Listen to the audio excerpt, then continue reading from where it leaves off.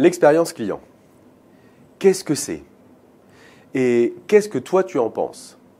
Voici ce que nous savons d'une enquête qui a été réalisée par Remax Europe.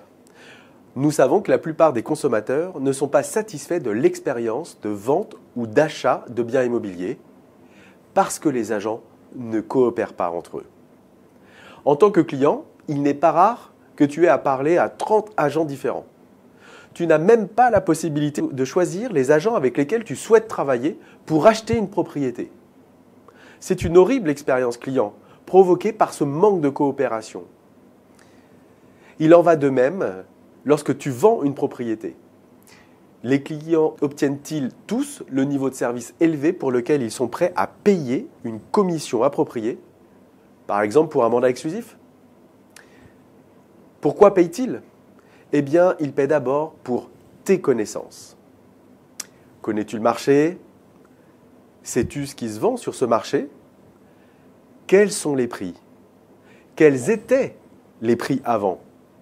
Est-ce que tu es en mesure de démontrer que tu es l'agent qui peut leur permettre d'obtenir le meilleur prix pour la vente de leur maison? D'ailleurs, as-tu la volonté de travailler avec d'autres agents qui pourraient t'amener des acheteurs, plein d'acheteurs.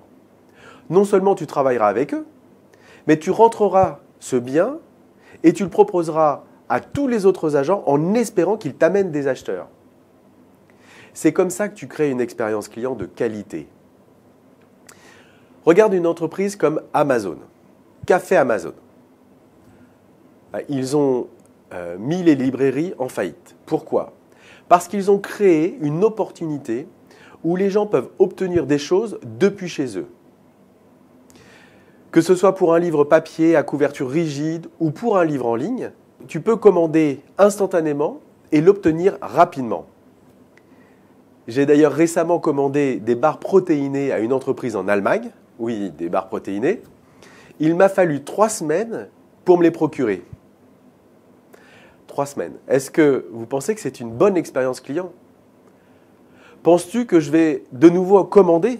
Eh bien non, c'était même horrible. Le fait est que de donner la priorité au client et comprendre ses besoins est essentiel pour nous.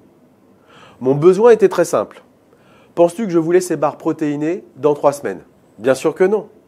Je les voulais sur le moment. J'en avais besoin maintenant.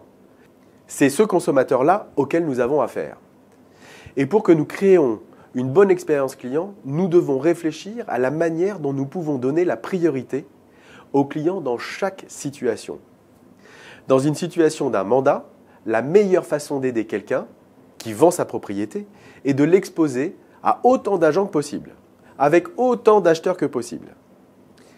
Parce que vous voulez vendre cette propriété dans les plus brefs délais et au meilleur prix, au prix le plus élevé possible. Si un acheteur cherche un bien il ne veut traiter qu'avec un seul agent qui peut faire toute la recherche pour lui. Faites-leur visiter la propriété pour laquelle ils appellent. Ils veulent la voir dans un jour ou deux, voire instantanément, et ils ne veulent pas la voir dans une semaine ou dans deux semaines. À ce moment-là, pour lui, cette expérience client serait horrible. Pour vraiment nous différencier de nos concurrents, nous devons nous concentrer sur les besoins du client. On reparlera dans les prochaines vidéos de l'importance de ce sujet, tellement il est important. L'expérience client.